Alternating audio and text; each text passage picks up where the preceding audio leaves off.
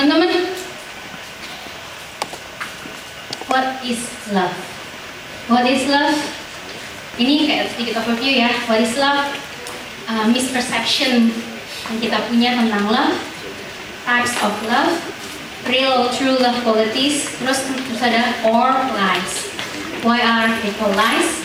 Warning signs, kenapa mereka lies?